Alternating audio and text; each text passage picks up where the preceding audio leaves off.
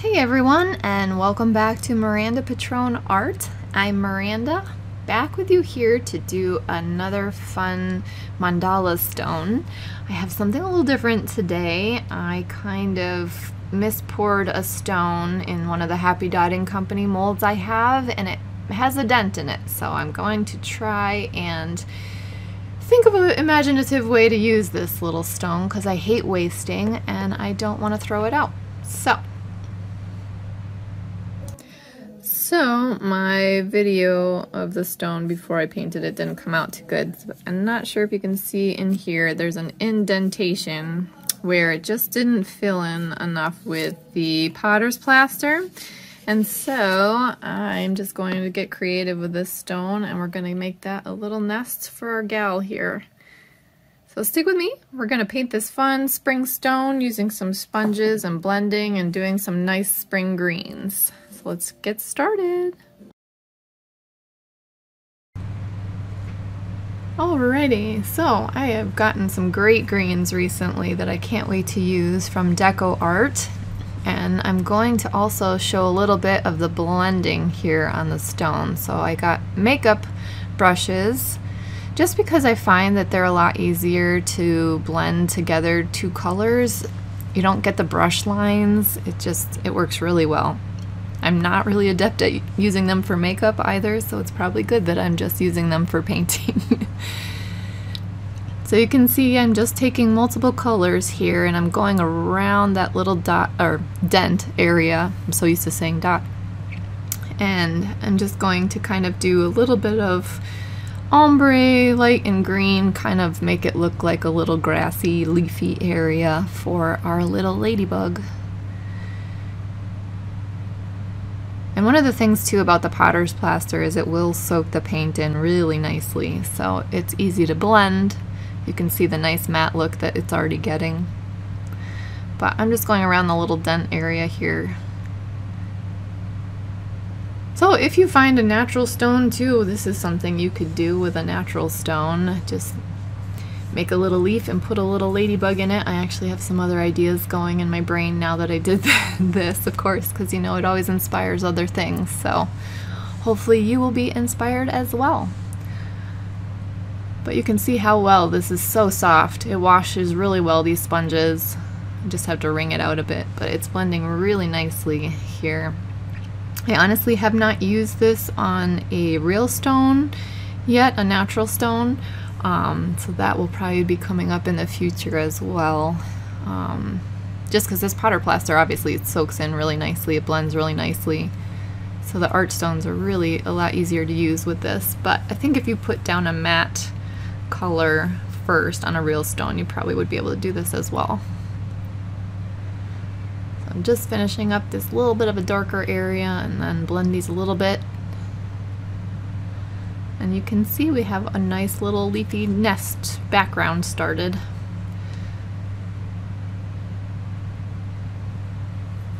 And as usual, I'll post all the links. So these sponges will be in there, all the links of where I get everything. So you guys can test them out if you want. I think we are just about good with that. Looks pretty good. Alright, so now I'm going to take my compass and I'm just kind of giving myself a guideline here. You guys know I don't always use guidelines, but I think it'll be helpful in this regard since A, it's going to be off center. Also, we have this indentation to kind of work around, so let's help help ourselves out as best we can. So I made this circle. This is a four inch stone. I made the first circle at about one and three quarter inches, and then the larger circle is at about two and a half, um, two, two and a half inches. And I'm going to start with the Venetian Gold. And this is an acrylic rod. They are flat on the bottom. And I'll post a link for those as well. And I'm just eyeballing this, but you guys could draw your grid lines. I'm just making the plus sign first. So see, I'm just doing them in a plus sign, like you would a normal mandala.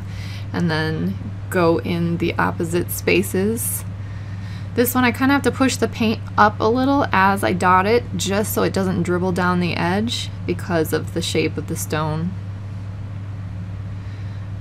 It's convex, right? Convex is like when it's curved on the outside. It's been a while. So then in between each of these we'll put another dot of the Venetian gold. And this kind of helps delineate that indentation area that I'm, I do not really want to paint in because it would be a waste of waste of a design because our little gal is going to rest there on the stone.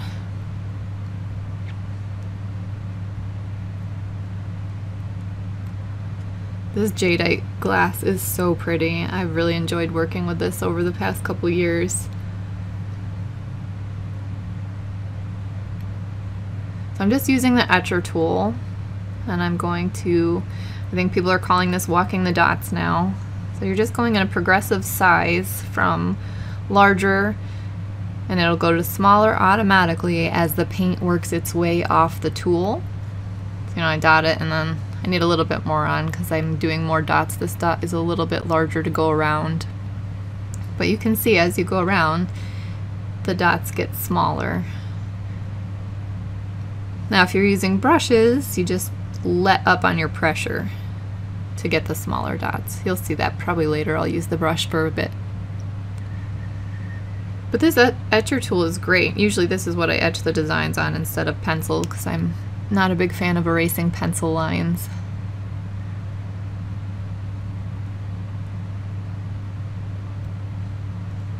Also depends on your muscle memory here with what side you start on. I'll go down both sides of this Venetian gold dot, but it's um yeah, it's kind of like a muscle memory thing. You know, I write right-handed, so using my right hand, I just have to make sure I don't stick my hand in the paint and get it situated in a way that is good for me. So that's another reason this turntable is a fantastic tool to be able to use because you can spin spin your work as you're working on it.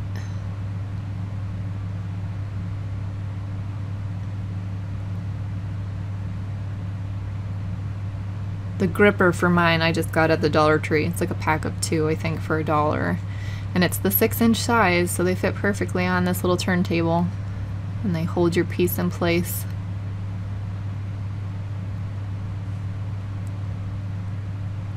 But you can see even, I like to work on whatever section is in front of me. It makes it easier, especially with eyesight issues. It's easier just to see where you're placing things in front of you, placing the dots. Plus on the sides here, it's a little challenging, so we'll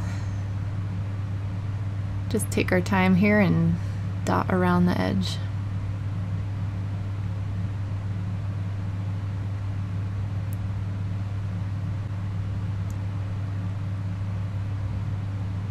So I will say while I have a minute, I'm going to try to keep more things in my online shop now, more links in my online shop, just mirandapitroneart.com.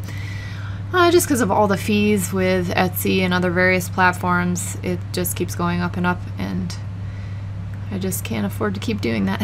so I'll just probably be using my website mainly if you guys are looking for these tools. If I don't post an Amazon link, it'll be in my shop. Alright, so this is the etcher, and I'm going to be using the bright green color now. Just to give you an idea here from the side, see I'm actually touching it to the stone. Sometimes I'll have to tap it to get a little more paint to come off. But I am actually just touching it to the stone, dip it and dot. As you work with tools more, you'll see too how much paint you need to load on each tool. And that way you'll know how much to use for each section that you need to do. But for the most part, it's pretty easy. Just dip, dot, and let the paint run off the tool as you go around, and the dots will get smaller. So just like I did when I started the first round of dots around this, I'm going to do the right side first, just because that's easier for me. And that way I avoid sticking my hand in the paint. I know that there's a lot of people out there too making wrist rests. So it's something you can kind of rest your wrist on to steady your hand. I personally don't have any of those, but I could look up some and put links for that too. I sometimes use my other hand as a rest too, if that's helpful.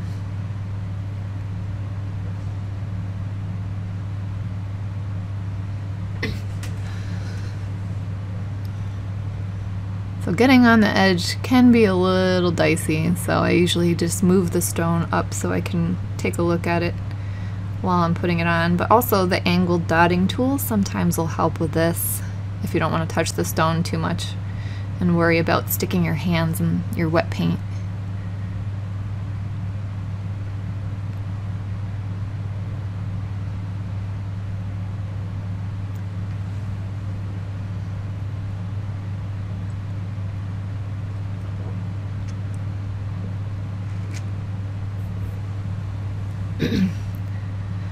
We're just going to finish dotting out these bright green dots on this ring.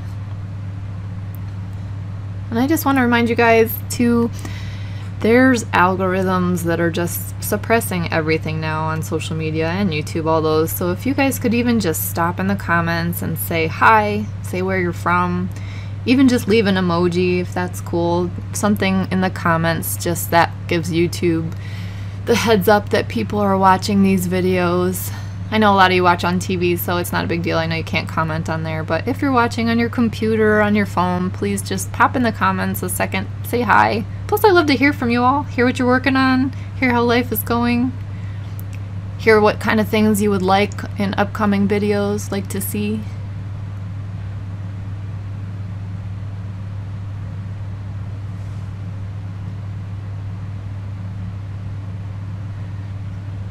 All right, so this bluegrass green is another one of my favorites. I think I just love colors. so from the side here, I am gonna show you the first round of dots that we just put down, the first couple rounds, they're dry. So that also stops it from the potential to bleed into one another if you're getting your dots in really close to one another. And now I'm using the angled brush now. So you can see there's like a little point at the end of the bristles and as you work your way around you just put less pressure on that point and it will make the smaller dots. So you just have to practice kind of working with it to, as you go around. Let up a little lighter, let up a little lighter, and then you'll kind of get the idea of muscle memory and practice will work it out there for you.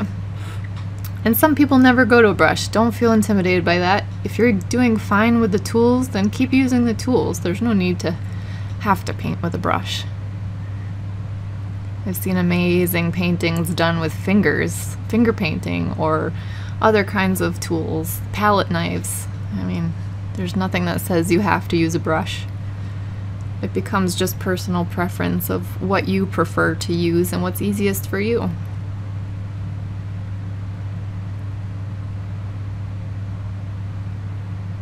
So you can see we're just following around that same ring that we started with the bright green. This one I kind of didn't really know where the top center was from my way I was sitting, so.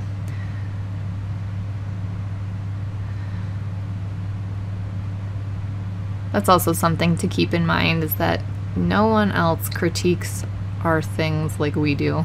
Don't be so hard on yourself. Just enjoy the painting and just keep trying. Don't give up. Try new things. Try it on stones. Try it on paper.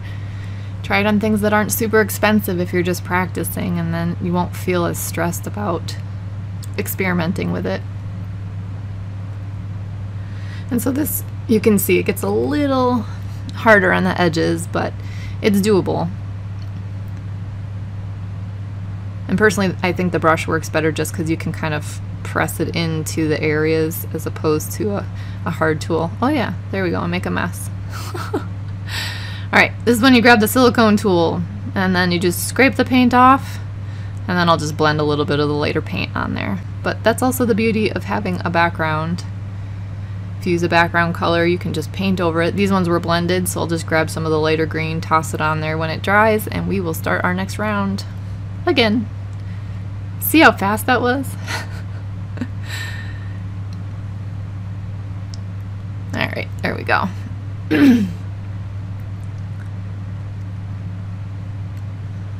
But really, making mistakes aren't the end of the world. That's how we learn. And I've said in the past too, I don't like to think of them as mistakes. If you think your spacing's off or whatever, nine times out of ten, somebody else is not going to notice that. You're creating art. We're not machines. It's supposed to just be a calming, enjoyable time of painting. I need to be reminded of that quite often, to remind myself.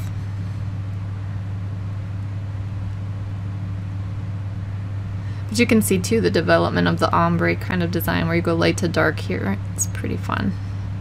And it just mimicked basically what we put on the stone with the sponge.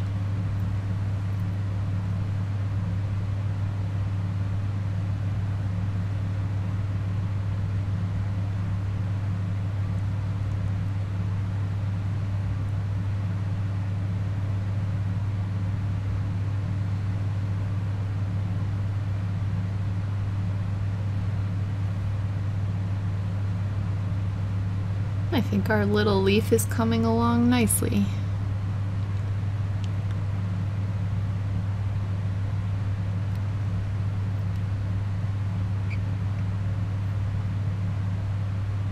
And see here with the angle, I don't have to pick up the stone. I can still kind of reach it with the angled brush or the angled tools too. Alright, so let's go back to that silicone tool since I brought it out there to clean up something. And this I want to show you makes ovals.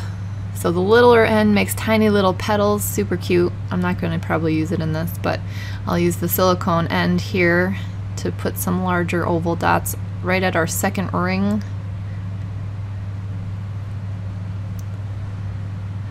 And this is with that jadeite glass again.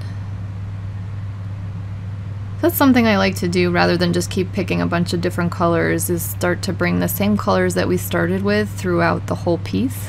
I just think it kind of helps with the cohesion of the piece. But if you're doing like a rainbow, obviously you're not going to go back to the same colors, so rainbows work too. So don't let that deter you, but that's just my plan for this one.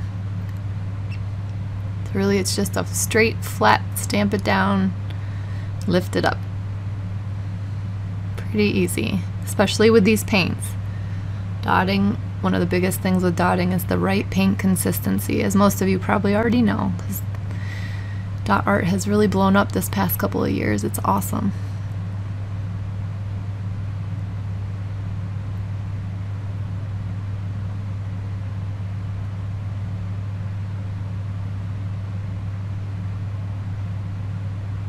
I'm going to have to rock it a little bit on the edge here just to kind of get it to conform to the shape of the stone. Actually just flip it around here so I can reach down. just that way it's the same size oval as the rest of them. And for this one, it's not an angled tool. I'm gonna have to lift it up just because I wanna make sure that we continue the pattern for as far as we can see when we're setting down the stone. And see that's kind of a rock and rock back and forth motion as well to kind of make sure that the paint gets on both sides there. And this one, because it's on the edge, again, I'm just going to push the paint to the top and that gives it time to kind of solidify and dry once we set it down so it doesn't drip off the bottom of your piece. So sometimes I'll even pick it up and blow on it a little bit to kind of create the drier edge so that it's less likely to come off the piece. Alright, so grab the bright green again here and the brush and I'm just going around those ovals that we just put down now with the bright green.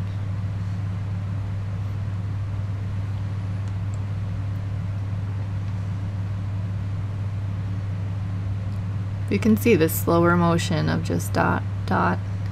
I find it very therapeutic. So just taking your time, placing each dot, and just enjoying the time painting.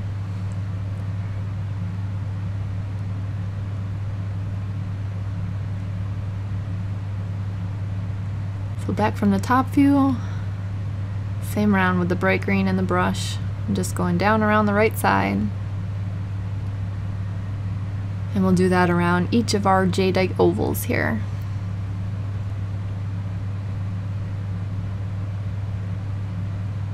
So you're just pushing down a little bit harder at the top to get the larger dot. And then you can even do the large ovals with this paintbrush. You just paint yourself an oval. But I think it's fun to show the tools and then it's helpful for more people that way, I think.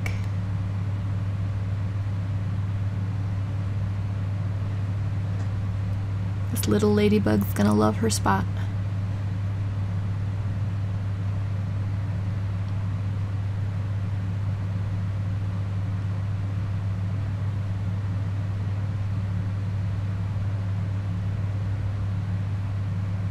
How are you guys doing? Is going okay? Probably have a pretty nice design going at this point. Just remember to enjoy the time, just relax, don't get too stressed.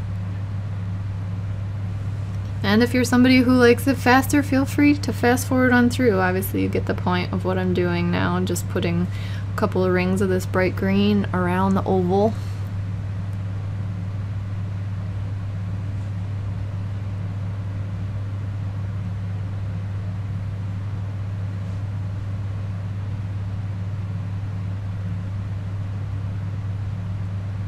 We're starting to kind of get into the zone of where we had blended the bright green paint. So in the video it looks like it's maybe not showing up as well, but once you varnish it you'll be able to see all the colors pop. It doesn't fade into the background.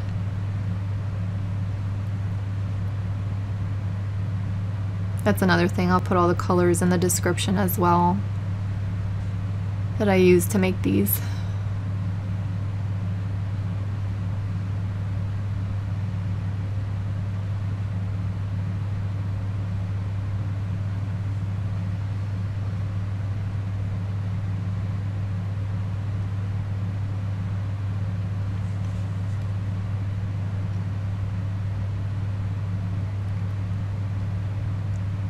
Okay, so I'm gonna go back and grab that bluegrass. So now I'm actually showing one of the angled dotting tools.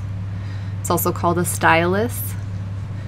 They're usually straight when you buy them. They come without that angle at the end of the tip, but after a couple user years of using my brushes, I started bending the tips of the dotting tools for my classes, and it actually has proven to be quite helpful. You can see where you're placing the dots. I can see on the video when I'm doing it, it makes it a lot easier. So if you're interested, I have these tools in my shop, but also if you already have a pair of a set of tools that are straight, I have a video that'll show you how to bend them as well if you're interested in that.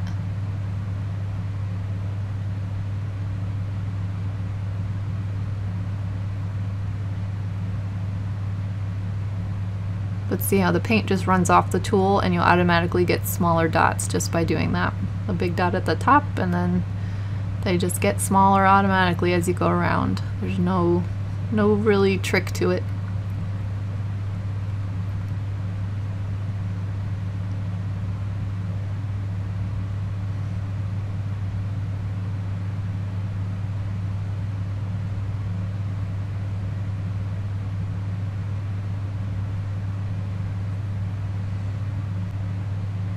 And also too, you can see the angle helps so I don't have to pick up the stone on the sides. I can still kind of see where I want to tuck each one of these dots into without having to pick up the stone and potentially stick my fingers in the wet paint.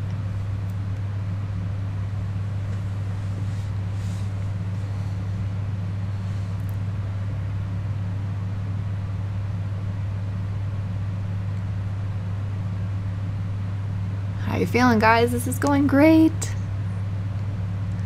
Love this spring green mandala.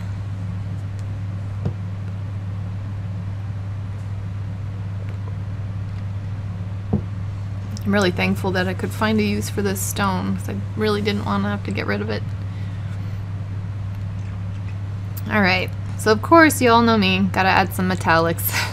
Gonna one of these rods. Actually, that one's a little big, so I'm going to go a little bit smaller. I don't want it to take up the whole oval, oval dot. So I'm going to grab the smaller one here. Excuse me. And then we're going to go at the bottom of the oval and just kind of tap that little circle dot with the metallic green Here's it from the side so you can see. It's really just a perpendicular motion. Fill it up with paint and then just choose your spot and then tap it right down in. Sometimes too I'll kind of rock the acrylic rod around a little bit to make sure I get that full circle. This metallic paint is pretty fluid, so it's going to pull into a circle already for me, but if I'm using a paint that's a little, for lack of a better term, tackier, thicker, it, um, it behooves me to kind of roll it around and make that better circle. Comes out a little nicer.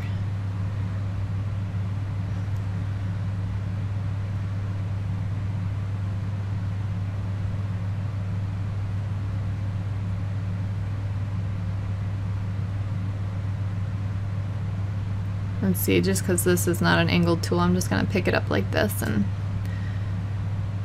tap the edge there.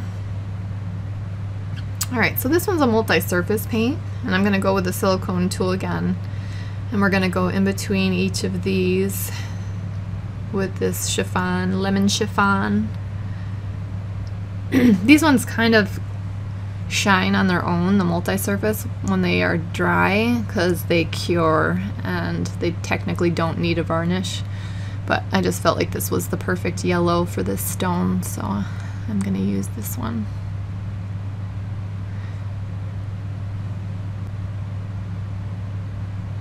They're also a little bit thicker and heavier, so you'll see I didn't go back and push the paint up on the side because they tend to not drip on the sides, I guess.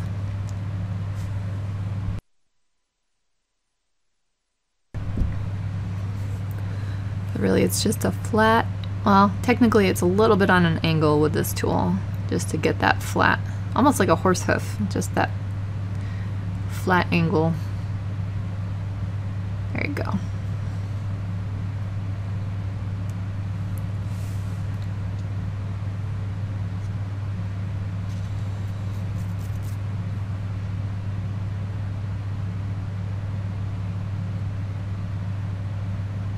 But you can see too, just by adding that pop of yellow, the difference it makes in the piece. It helps bring out the gold, it helps contrast the green.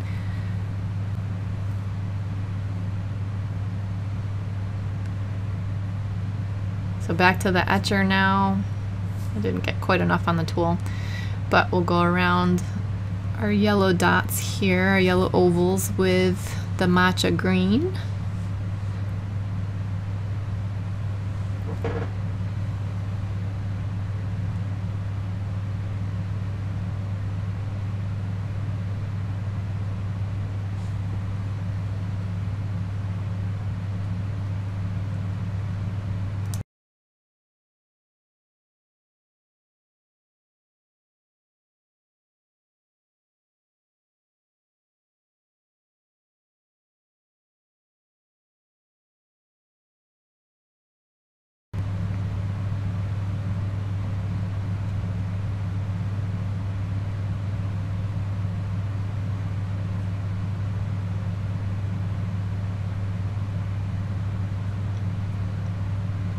Almost looks the same color as the yellow, but it's not. It's just a yellowy green. After we varnish it too, you'll be able to see the difference. Which I think at the end of this video too, I'll pop a varnish video on for doing this stone so you guys can kind of see what I usually work with. Alright, so from the side here I am using iced espresso, no, rich espresso. It's another metallic. And I'm just tucking a dot of that with the angled dotting stylus in between on either side of the yellow. Rich espresso.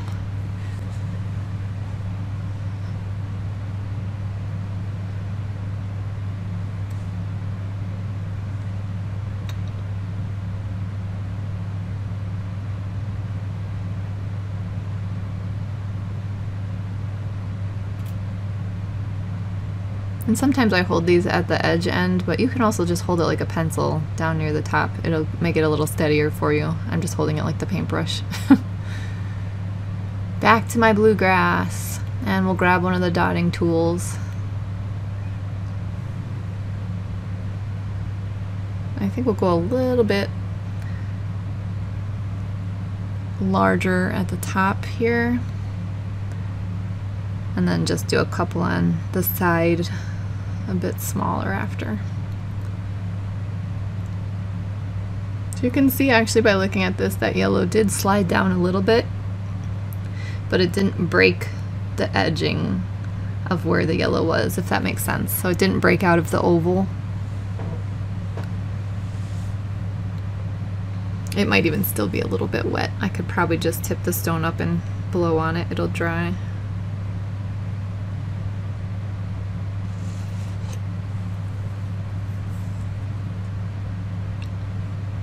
But this is another one of those things where I kind of just decide as I go when I make these mandalas. It's like a choose your own adventure, I like to call it. But looking at it on the screen, seeing the spacing, sometimes I walk away and come back to it. I don't always have a plan in mind other than the color scheme. And even then, as I did with the yellow on this, I didn't use all the greens. I just thought the gold and the yellow would complement each other and the greens. So it just being flexible and enjoying the time. And also keep in mind you can always go back and do it a different way next time. Or paint another stone a different color. Or paint over this whole thing again and start it over. It's never permanent. So we'll do a couple of bright green dots down here. Just because I feel like I need to fill in that space for some reason to delineate where the ladybug is going to sit just a little bit more.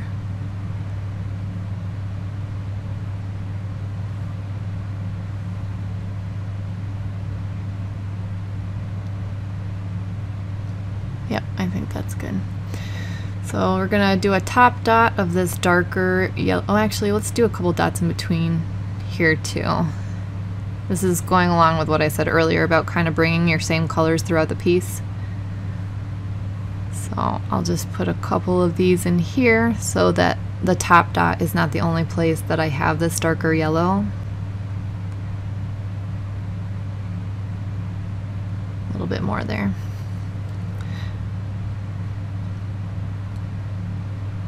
My yellow chiffon is still wet, so I'm going to switch over here to show you some swipes with the dotting tool. It's just a dip and drag, very easy just practice on a piece of paper first to see how far you can drag that paint out till you get the size tail you want.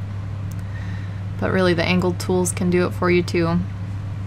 The etcher does, go, does them really well as well. You can use the brushes. I mean, just depends on what you're comfortable with, but a lot of people have asked about it with the angled dotting tools, so here you go. now, I have these Artistro paint markers and you can varnish over these. They don't bleed. I absolutely love them. And now they have metallic ones. So I'm gonna go with this nice little peridot metallic green that they have here. And we'll just kind of do a decorative edge to our little leaf nest. But this way too I get my greens in and I get metallic at the top. And you can kind of control the design. I mean you can do this with a paintbrush as well But I'm, I'm pretty happy with these pens, these paint markers. It's got a great shine to it. When I varnish it, it doesn't use, lose the shine. They have good control. One thing I will say if you're doing a rougher stone is you don't want to catch the tip, so try to stay smooth or keep a lot of paint on it because it will catch and kind of splatter, but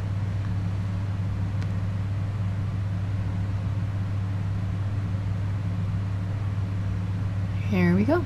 A nice little decorative addition.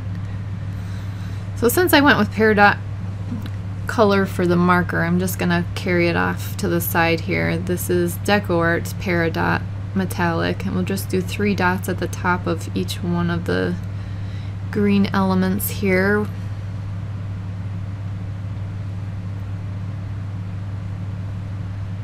And I think it's as far out on the edge as I want to go because I kind of want to leave some of that little blended area showing.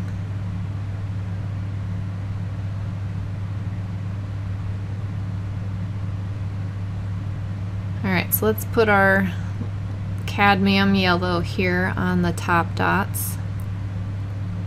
Remember that was the one we did the two little dots before down in.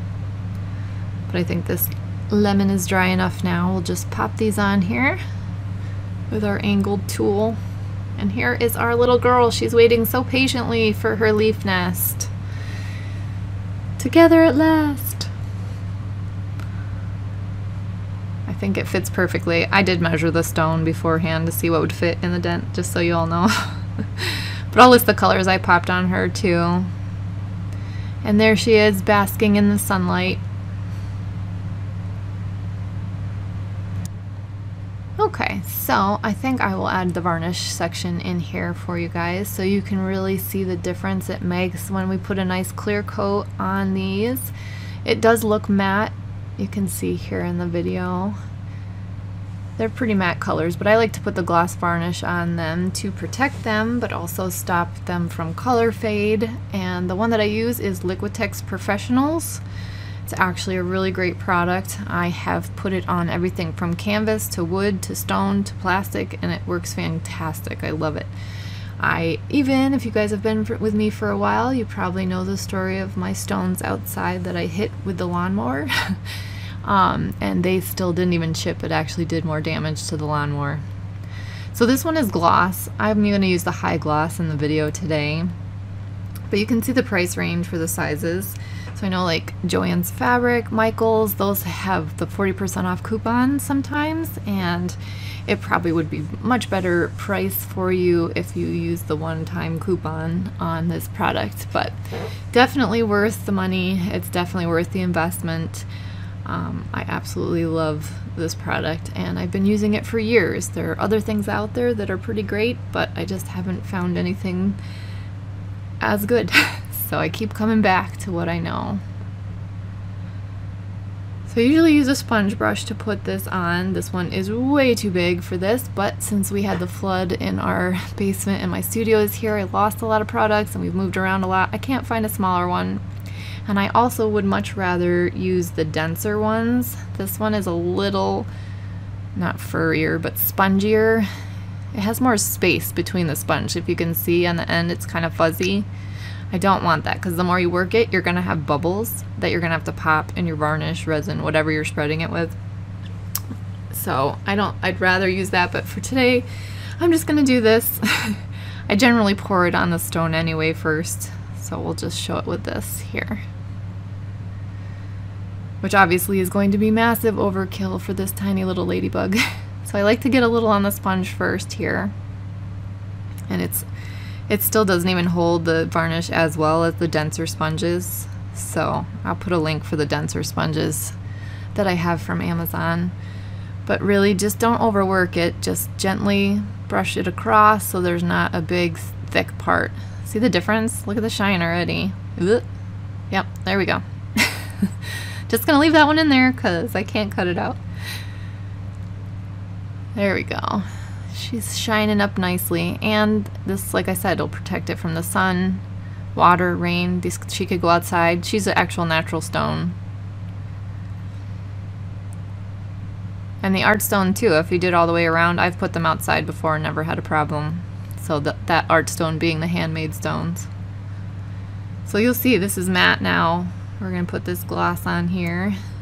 And I like to get a nice thick coat on it and try to work it quick around the whole stone. And don't overwork it because it'll start to get cloudy. Also we want to make sure that our paint um, is dry before thoroughly before we go and put the varnish on. So I'm just going to catch the drips off the side here get it all around and we'll let it dry. And then I'll give you guys a visual on the difference and how they look when they are dry.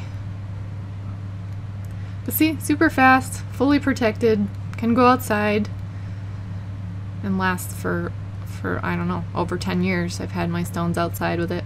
It's just a great product. And you guys know that I like to share with you what I can. So I'm going to let these dry and then we'll see what they look like after.